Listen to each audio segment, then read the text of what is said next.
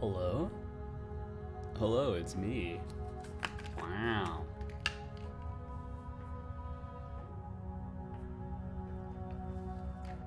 Let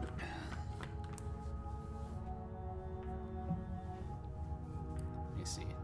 One sec. One sec. Turn this on. Oh, geez. Hello. And then, hello. Wow. We're going back to the double screen setup. But this time, we're not going to be working straight on OpenSeeFace GD. What we're going to be working on is this. Not this. Hold on. Uh, I think it's this one. Yeah, this thing here. Look at that. Looks absolutely terrible.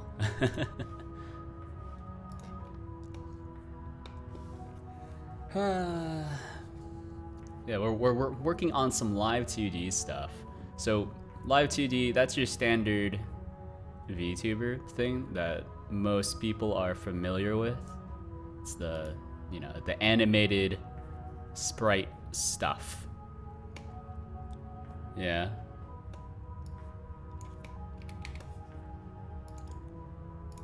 So, if I want to increase, you know, the amount of people that would want to use OpenSeeFace GD, and then maybe I'll just keep this for VSS, so we'll just hold off on it. but I want to increase the people amount of people that want to use this. I would need to, you know, implement live 2D stuff. You know, live 2D is one of these. If it'll load. When it loads. Oh, geez. Loaded onto the main screen. Yeah, see, there's a thing that I was working with. Uh, so I have this technically working. Kind of. Almost. It has to be in 3D, I think.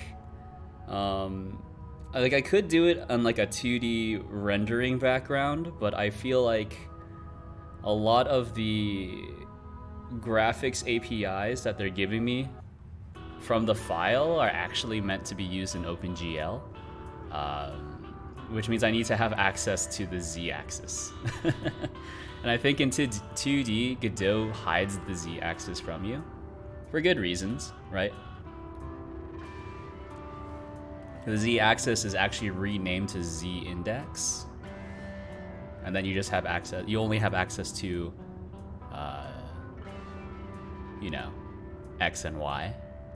And then if you use a transform 2D, let me see, what does transform 2D do in Godot? Transform 2D, I believe this just gives you access to, oh, it doesn't even give you your, um, no it does. One, zero, zero. Oh, actually, no it doesn't. Interesting. It does not give you access to your uh, quaternion. Okay. Anyways, that's that's what we're working with right now. I need to push this to a new branch, I think. So the current thing that's available on GitHub right now is, uh, hold on. What is the thing that's currently available on GitHub? It is. Any, any movement on this? Okay. Uh, so live 2D test project. Yeah, the current master branch, or as you may notice, it's called the Senpai branch. Yeah.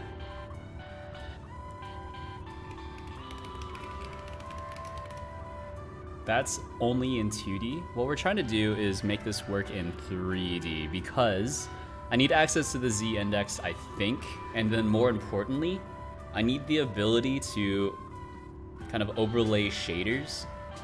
So apply multiple shaders all at the same time. Because I was looking at another implementation of this from the Vignette project. Oh, hello, Nina. Hello, hello. How are you today? I'm working on this. Let me let me just show this off really quick. Look at that. Wow. So, what I need to add, I'm working on live 2D stuff. Uh, you may have noticed from the Discord. Uh, and so even though it is like in the name, it's 2D, I need to actually render this in 3D because this requires multiple shader passes, multiple render passes. Um, because I need to apply like a like a mask texture to the other arm parts because uh you might be thinking like am I, is this person supposed to have multiple arms? And the answer is no. I think what I actually have on Discord she actually has six arms maybe? Hold on. Yeah she actually has six arms. Wait, hold on. So did I accidentally fix something? Oh my god, he's accidentally fixed something. He's so good. so I've implemented part of it. I've implemented part of it, I think.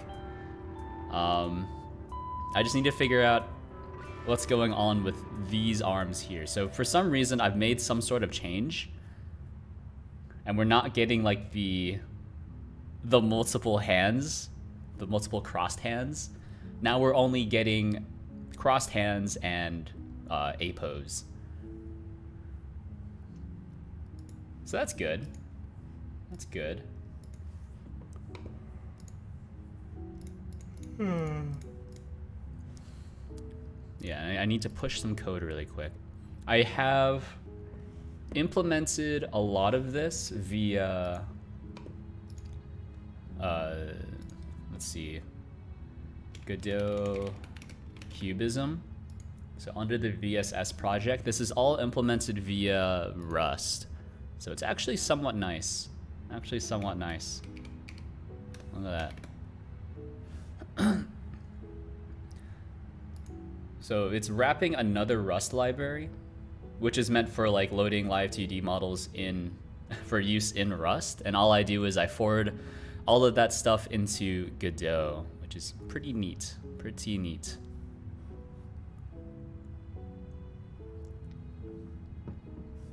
But now I need to figure out, like, what am I supposed to do for drawing? So I'm, I'm looking at some multiple implementations of drawing.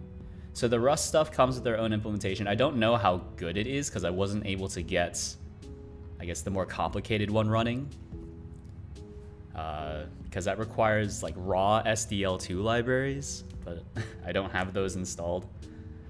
So, ugh, we don't need those. And then there's also a C sharp implementation that I was looking at as well. It's called Vignette.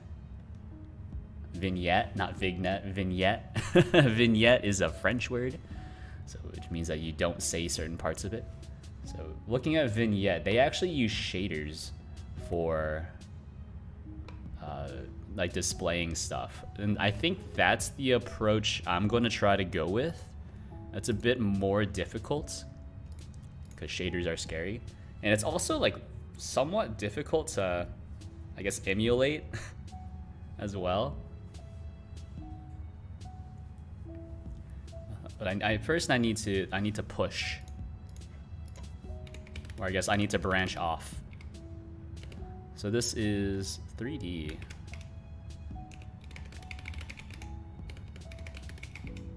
Git add all. Let's see. I think if you're trying to move to Linux, this is a site that you're going to have to get used to. Because this is this is the pretty much the same terminal that you would get in, um, in Ubuntu.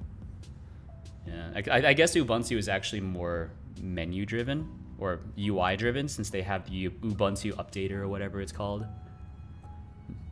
Not a huge fan of that. It's always been pretty slow in my experience, as opposed to just hitting like a, you know, sudo apt update, sudo apt upgrade. you know. Uh,